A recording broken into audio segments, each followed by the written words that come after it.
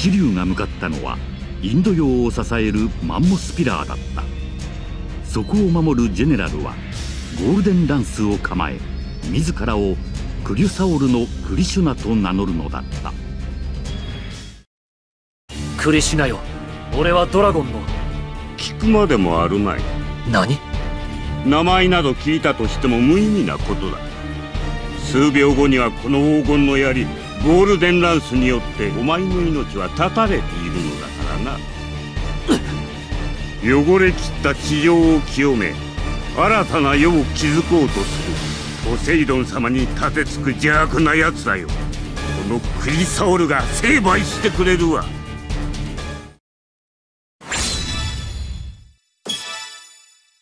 セイントとしての務めを果たす。アテナのセイントよ。よく相手になろう。ファイト!ゴールデンランスをただの槍と思う。この槍には全ての邪悪を裂き貫く聖なる力が宿っているの今とどめを与えてやるぞ!邪悪とは何かわかるか?ドラゴン。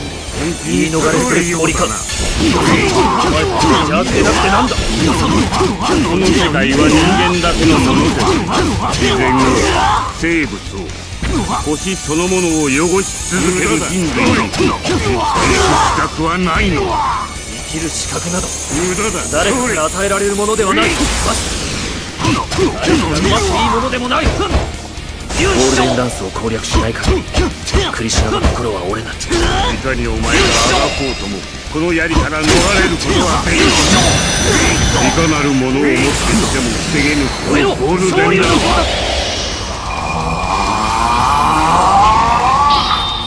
鉱山お命燃え尽きようともウィナー最高の強度を誇るドラゴンの盾には。通用しないこれぞ鍛錬の賜物。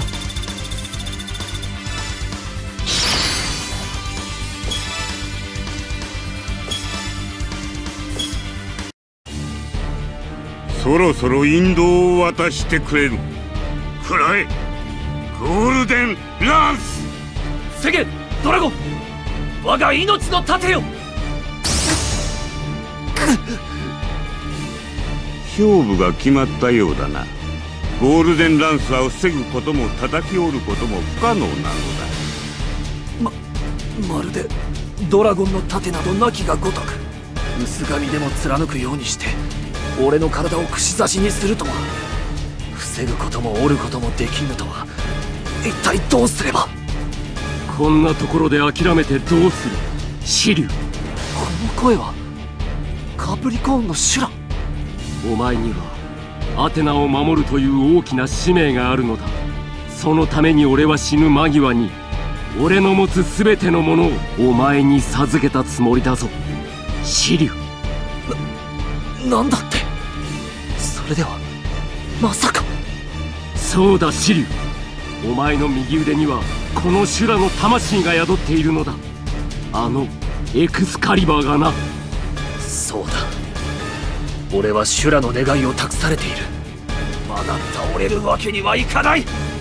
なおも立ち上がるのか。ならばもう一度くらえゴールデンランスを。何？ドラゴンの盾がゴールデンランスを止めた？この盾の色はゴールド。盾だけではない。クロス全体がまばゆいばかりのゴールドに輝いているゴールドセイントによって蘇った俺たちのブロンズクロスは俺たち自身のコスモの高まりによって限りなくゴールドクロスに近づくことができるのだ。いくらクロスがゴールドに近づこうともお前の肉体そのものはブロンズの力しかない。メッキが剥がれるのも時間の問題だ。なるほど。お前の言うことにも一理ある。ならば捨てようこのクロスを。何？命の盾とも言えるせっかくのクロスを自ら脱ぎ捨てるとは。俺がゴールドセイントから受け継いだのはクロスだけではない。それに死と神人へ。命ギリギリの極限までコスモを高めなければ俺の右腕に宿る者を呼び覚ますことはできない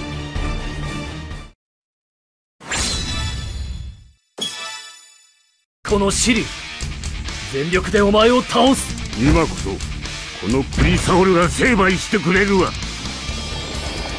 ァイトお前の名を我が玉の名乗るがいい。勇者無駄だ。オラのシリウそれシリさせるとは大したものだ。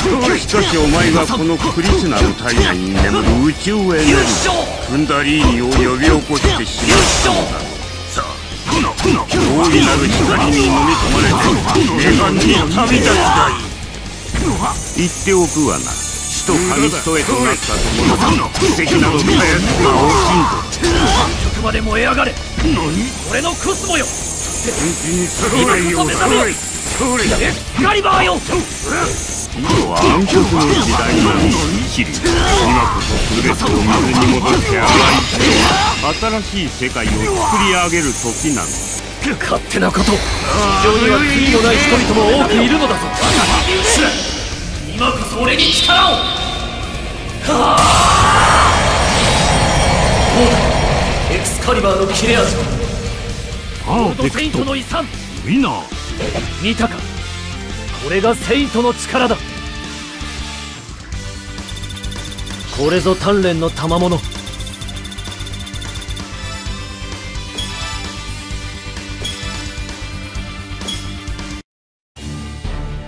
しシリウよ。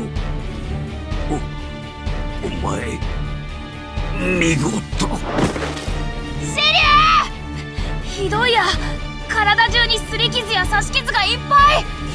俺は大丈夫だ。キキそれよりも柱をってるって。